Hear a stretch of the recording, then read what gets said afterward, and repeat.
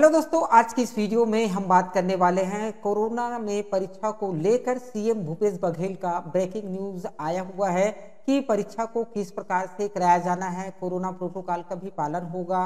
तो इसका, इसके जो परीक्षा है, जो प्रतियोगिता परीक्षा है या शालाओं की जो परीक्षा है, उसको किस प्रकार से निपटाना है, जितने भी प्रतियोगिता परीक्षा में आपने फॉर्म भरे हैं उसकी क्या परीक्षा होगा या नहीं होगा कोरोना प्रोटोकॉल? तो इसके बारे में एक ज़बरदस्त ब्रेकिंग न्यूज़ निकल करके सामने आया हुआ है। आज की डेट में, आज का तारीख है पाँच जनवरी 2022 यहाँ पर ब्रेकिंग न्यूज़ निकल के आया है कि कोरोना में परीक्षा को लेकर सीएम भूपेश बघेल का कड़ा निर्देश आया है। तो परीक्षा होगा या नहीं होगा, आगे मैं इसके बारे में बात करने वाला हूँ। इससे पहले कि आप मेरा नाम जान ले, मैं हूँ हेमंत कुमार। और आप देख रहे हैं आपका अपना Hindi YouTube channel C G jobs and education की इस वीडियो में मैं आपका बहुत बहुत स्वागत करता हूँ। वीडियो में पहली बार है तो चैनल को सब्सक्राइब करने के साथ साथ आल नोटिफिकेशन बेल के आइकन को दबाना ना भूले ताकि जब भी मैं कोई नया वीडियो अपलोड करूँ तो उसकी जानकारी सबसे पहले आप तक मिल जाए। वीडियो अच्छा लगे तो वीडियो को लाइक करने के साथ साथ अपने दोस्तों को शेयर ज़रूर से कर लीजिए। दोस्तों, जैसे कि आप सबको पता है, ओमिक्रॉन जो कोरोना वायरस है, जो डेल्टा वायरस है, डेल्टा वेरिएंट आ रहा है, वो बहुत ही ज़्यादा खतरनाक तरीके से हमारे छत्तीसगढ़ में अपना पाँव पसारता हुआ नज़र आ रहा है। इस बीच में अभी बहुत से परीक्षा, चाहे आप सी जी व्यापम की बात करें, चाहे सी जी पी एस सी की बात करें, या तो फिर कनिष्ठ सेवा चयन कर्मचारी बोर्ड बस्तर की बात करें, या तो फिर बस्तर फाइटर की बात करें, या तो फिर स्वास्थ्य विभाग से जितने भी वैकेंसी आई हुई है, बहुत सारे परीक्षाएँ आगामी दिवस में होने ही वाली है।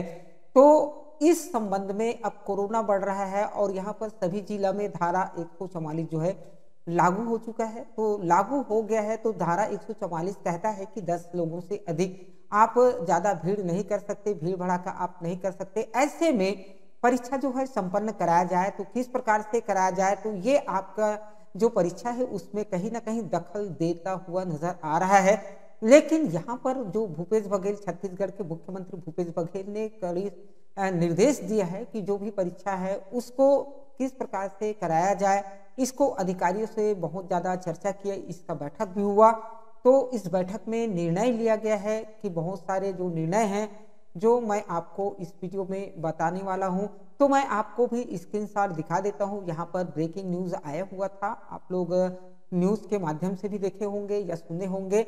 अगर नहीं सुने हैं तो मैं बता देता हूँ कि आप लोगों का जितने भी प्रतियोगिता परीक्षा है, वो कहीं ना कहीं जो कोरोना प्रोटोकॉल का पालन करने पालन करते हुए परीक्षा होना ही चाहिए।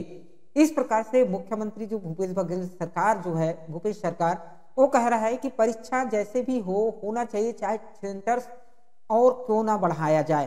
तो इसके बारे में उन्होंने अधिकारियों से बात किया, कोरोना का पूरा जायजा लिया कि किस ज़िले में कितना है कहीं कहीं तो स्कूल भी बंद कर दिया गया है। लेकिन यहाँ पर परीक्षा को लेकर के एक सख्त निर्देश जो है अधिकारियों को दिया गया है। तो कहीं ना कहीं परीक्षा का जो सेंटर्स है, वो बढ़ने वाला है। मैं आपको दिखा देता हूँ, सीधा स्क्रीन पर आपको ले चलता हूँ, आपको देखने को मिल जाएगा। देख लीजिए, यहाँ पर सीधा सीधा यहाँ पर लिखा गया है ब्रेकिंग न्यूज़ है।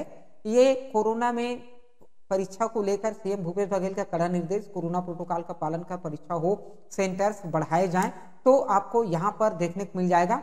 और मैं आपको बता दूँ कि छत्तीसगढ़ में कोरोना का तीसरा, तीसरी जो लहर है, वो आता हुआ दिख रहा है।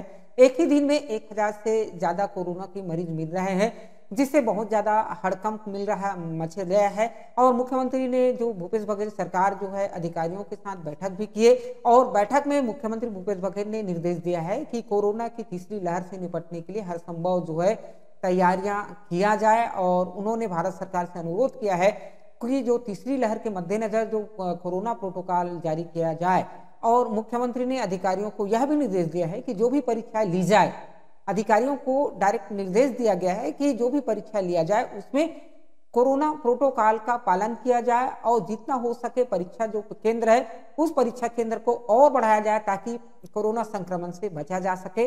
और यहाँ पर और भी जैसे आप जानते हैं कि छत्तीसगढ़ के रायपुर फ़िलहाल कोरोना का सबसे ज़्यादा घातक माना जा रहा है प्रभावित सबसे बड़ा जिला माना जा रहा है। इसके अलावा आपका बिलासपुर आता है, रायगढ़ आता है, कोरबा आता है, जांजगीर आता है, जांजगीर चापा, साथ में बस्तर के कई इलाकों पर भी यहाँ पर कोरोना वायरस काफ़ी तेज़ी से फैलता नज़र आ रहा है। तो इस बीच में मैं आपको यही कहना, कहने वाला हूँ कि ये जो परीक्षा है, कहीं ना कहीं भूपेश सरकार जो है, ये परीक्षा को लेने के मूड में नज़र आ रहा है, क्योंकि जो भी परीक्षा है, वो ज़्यादा विलंब ना हो कोरोना के चलते तो यहाँ पर कोरोना प्रोटोकॉल का पालन करते हुए चाहे परीक्षा सेंटर बढ़ाना क्यों बढ़ाया जाए और बढ़ाया जाए तो जिससे कोरोना संक्रमण कम हो सके, इस प्रकार से अधिकारियों को निर्णय लिया गया है कि जो भी आगामी परीक्षा है, उस परीक्षा को ज़रूर से लिया जाए और सेंटर्स को और बढ़ाया जाए तो कहीं ना कहीं यहाँ पर आप लोगों के लिए प्लस पॉइंट ज़रूर है, लेकिन एक तरफ़ से स्वास्थ्य को देखते हुए